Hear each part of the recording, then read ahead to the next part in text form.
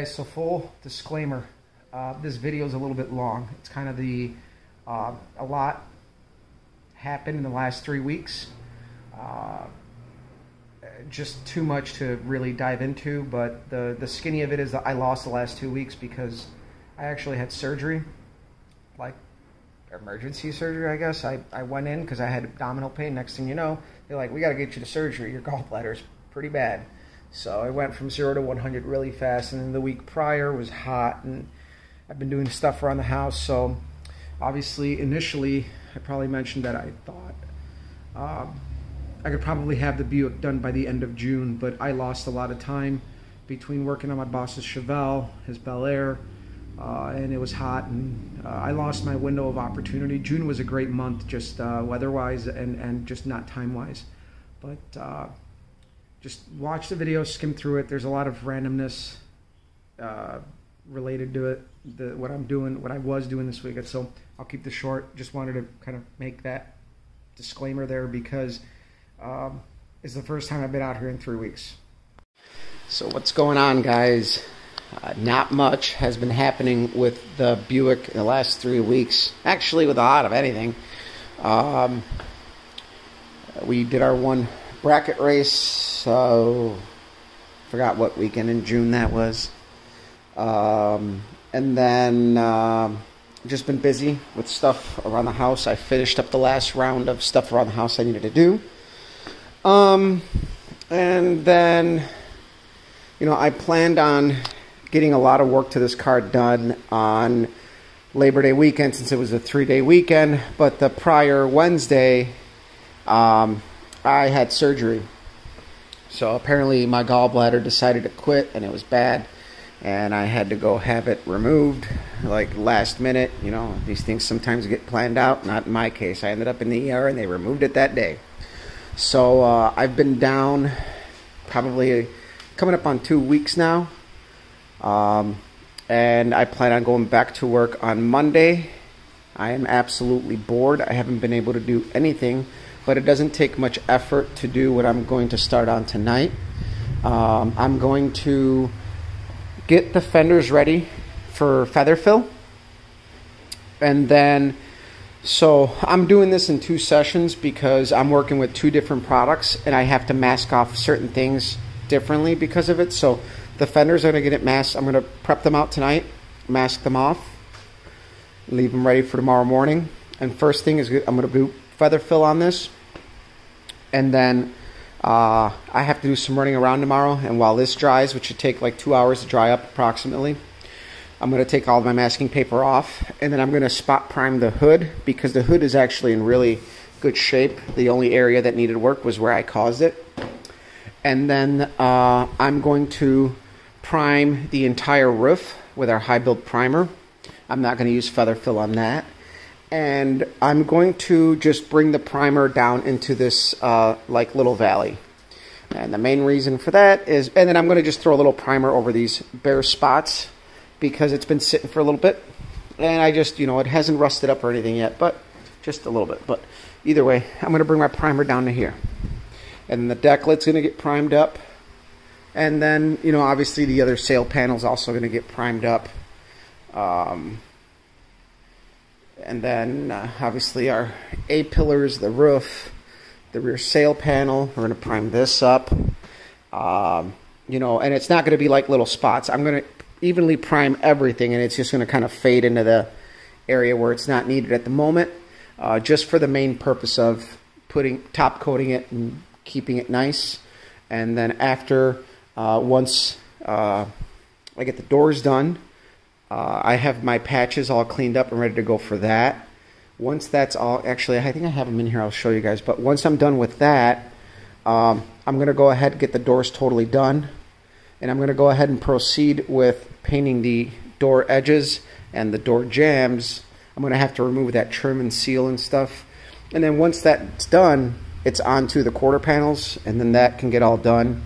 Uh, also, the, the trunk is also going to get primed at this time as well, all evenly, as that's done as well. So, uh, that's what I plan on doing tomorrow, and we'll see because I have been pretty much down for almost two weeks, and I really haven't done a whole lot of. I've done a lot of minor stuff around the house just to keep me kind of busy, but I haven't done any actual like work work. I do have a lift restriction for weight, uh, but uh, the heaviest thing I'm going to be picking up for this is probably the roll of masking paper, and that's not very heavy.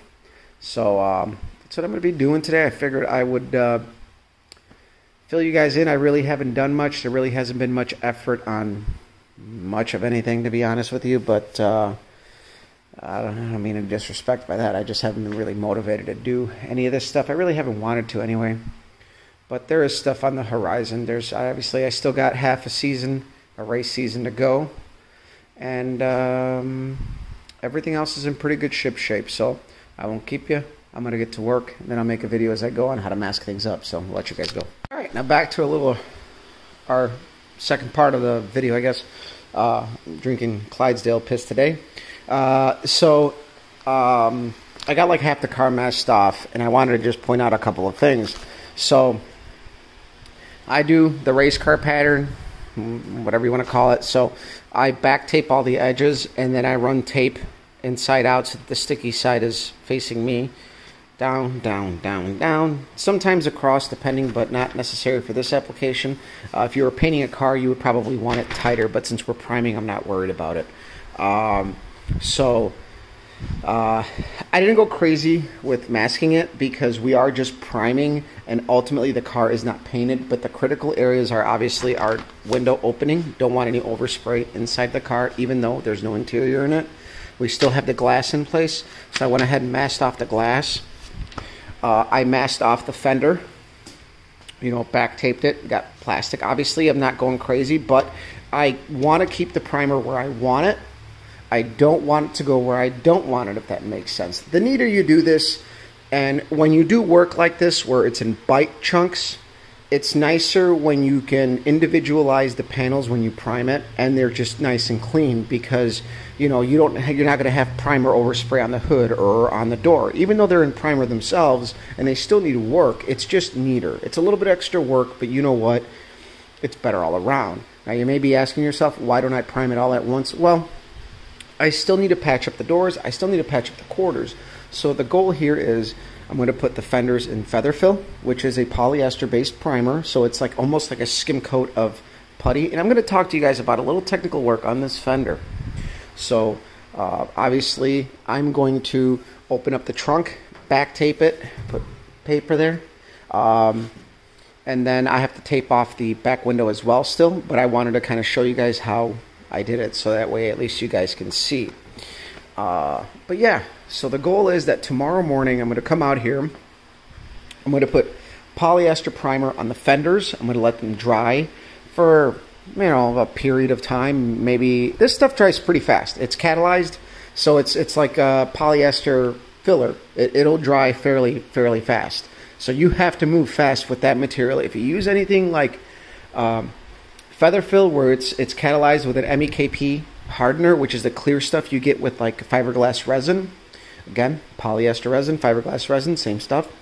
Um, it dries really fast. So by the time this corner is dry, what I'm going to end up doing is I'm going to lightly lay a piece of paper across here, and then our roof, our sail panel, and our deck lid are going to get just regular high build primer because those panels are really good. This had a lot of work compared to this. And um, for this area, I'm not too worried about it. It's not a super flat area. It's round. The, the, the if you look at the profile of the roof, it's not truly truly flat, and it didn't really need a lot of work for me to say, hey, let's put a super high build primer, a thick primer, like a skim coat of spot putty over everything like feather fill. So I'm going to save the feather fill for like the fenders, the doors, and the main quarter panels. That's all I'm going to use it for. I'm not going to worry about it on the roof. I'm not going to worry about it on the deck lid. I'm not going to worry about it on the hood. The hood is also going to need primer here, which I may do later if I can't mask it quite off because my gaps are tight. So I don't know how I'm going to be able to squeeze masking tape in there. But uh, I did 180 all the panels, so I DA sanded it with 180. Um, some guys might want to use finer, like 220, 240. I like doing 180. Uh, the scratches are fine enough to where they don't shrink and you see it. At least in my experience. Take that with a grain of salt. Um, and then, um, so yeah, now let's get to the bread and butter of this technical talk. So you guys can see this like line here, right? It's a little hazy and there's still paint here. Well, this, this fender has a groove here because this body line, it goes like contour this way. So it's convex, concave, and then again, it goes kind of outward again. So you end up with like a butt cheek here. Now this butt cheek is profound from like here to here. And this is what happens sometimes when you walk away from work. Now I started worrying because I'm feeling the body work and I'm going across and I'm like, it feels like a high spot when I get to here. But that whole uh, concave area becomes flat at the back. So this is where um, if the average guy did the body work, a lot of people probably would have just skimmed over this and flattened it out. But this is how it's supposed to be. You know, these panels weren't truly flat. And again, I'm not going to worry about it. I'm going to feather fill it and block it. And then once it's blocked, I'm going to spray it down with pre-cleaner and see what the reflection looks like. I'm going to let that, that dictate that because sometimes you can get carried away and these fenders have so many little things going on that you miss that they're truly not flat. Like I said, it's convex here, concaved here, and then it kicks out again here. So you end up with uh, like a crease here, a natural crease, but it also fades away because at the front of the fender it flattens out completely. So you're going to have, uh, you know, a discrepancy from this depression to the flat part, and um, you know it's something that again that's that's just how it was. So I'm not going to really worry about it, but for the guys doing it at home uh, sometimes look at the other side, and on the other side, we didn't have body filler work there, and that's why, you know, you can always reference one side or the other.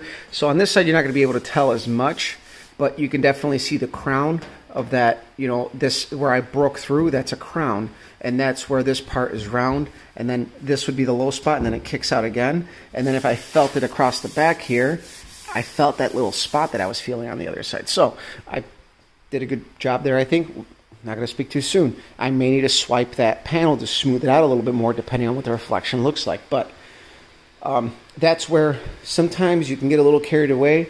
And sometimes when it's good enough, go ahead and prime it and block it. And let the primer or the polyester primer tell you what your next move is going to be. Because once you have a new fresh substrate, in that reflection, you're going to be able to see what it's going to look like almost in paint. So that's where when you spray your pre-cleaner, it's going to be wet. It's going to act like clear coat, and it's going to give you a nice little reflection. And you can stand, you know, you're going to stand back, and you're going to look down the side. And if you see any major, major ripples, then yeah, you're going to have something. But these fenders are going to have little lights like, you know, dips and stuff. And we're not building a show car here. We're trying to just, um, you know, like restoration is back to OE. And some cars, a lot of cars are actually over restored in, in some respect, which isn't bad, but it's hard to replicate what the factory does. And when you ultimately do body work like this, um, on, on some cars, they would just skim coat the whole fender, block it all out, and now you got one big, pretty substrate. Well, I'm not trying to do all that. I'm trying to do, you know, recreate what was there in a sense. Um, not that skimming the whole panel is wrong. It's just it's not what I was opting to do. So either way, another little thing too is I got a lot of little shiny spots, like here ah, don't be afraid. Just, you know, with a red Scotch-Brite pad in the morning, I have to run out and get one. Um, I'm going to hit all those little areas up because you don't want to put primer over shiny, just like paint. Um, and I'm going to go ahead and scuff that stuff all down. And I'm not worried about dust in the primer. If this was paint, yeah, no, you want to take care of all that stuff absolutely before you mask the car off because any any of that little grit from the uh, scuff pad that'll land on the tape, it'll fly off. But since this is this is the initial round, this is the real initial round of primer, not the epoxy primer. This is the real first initial round of primer that I'm going to be doing, so it's not going to be as critical because most of it's going to get blocked out anyway, so I'm not going to worry about it. But if this was the final, uh, you know, well, in this situation, we're probably going to end up sealing it because uh, we might use a, darker sealer for the color that, that's a very transparent color. Uh, and I've been using like light gray primers, but either way. Um, so uh, either way, if, if you were to be doing this and going from like primer to sealer, that's a big no-no. You don't do that. And, in primer, yeah, but no. If you're going to go to paint, you know, you, you wouldn't hit these areas up after you masked it off because you don't want any stuff that could land on the paper or the tape to fly back on your on your overall finish.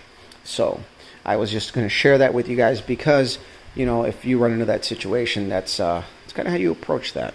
So see you. All right. So it's Sunday. It's like three fifteen. I woke up like really early today, like before seven. I got to I actually went to the local Menards because I just needed a gallon, gallon of lacquer thinner, Scotch-Brite pad. I know they had that, and I also needed char- charcoal for today's cooking project. so usually on Sundays we kind of make something special out of dinner. It usually involves me smoking something or something in the smoker or something that takes a lot of fucking time. Either way, uh, as you can see, our deck lid is primed it looks good. Our roof is primed. Uh, obviously, the sail panel is part of it. You can see where I masked it off because I didn't need to prime the whole quarter. I just needed to prime the roof and the sail panel, and I just hit the area that I had already fixed, which turned out to be good. Uh, I did forget to prime the hood because I covered it, and in the grand scheme of things, I forgot. I put feather fill on the fenders. Uh, the driver's side fender is going to need more love, and when I do that, I will explain in detail. You can kind of see it in the reflection. If you follow this line right there, it dips up. What that means, there's a low spot there.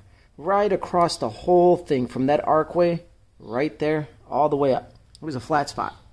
I probably made it flat, blocking it. So what that tells me is that I'm going to need uh, I'm going to need a skim coat of filler. I'm going to need to shape it out a little bit. But this is why I don't like to get totally carried away because sometimes you spend a lot of time on stuff and you get so carried away.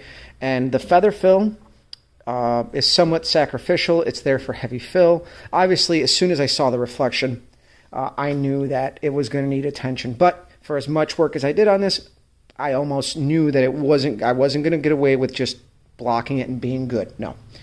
No, not the case. But the other fender is good. Other fender is pretty much going to be blocked. It's going to need regular primer like this, our regular urethane high build, and it's going to be done.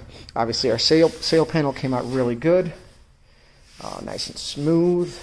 Uh, I primed up the little bit of bare metal spots I had just to protect them until I had to get until I could get to them. Obviously, our pillars are all done, so looks pretty good. Made big I would call this at this point big progress, even though it was just, you know, something to keep me busy and kind of getting ready to go back to work after being down for almost two weeks. Um, and I did take the olds out today to go get gas. She's running good. I had a sound off with the neighbor over Fourth of July weekend. Kept revving his German car, and quite frankly, I took offense to that. So I had to show him how to America, and uh, I'll put a video clip of that on here. So either way, uh, just stick around. You know, there'll be videos like this. It's been like three weeks since I did anything, so uh, if you guys are following, great. Share, like, subscribe, follow me on Instagram as Copper Cutlass. We'll see you around.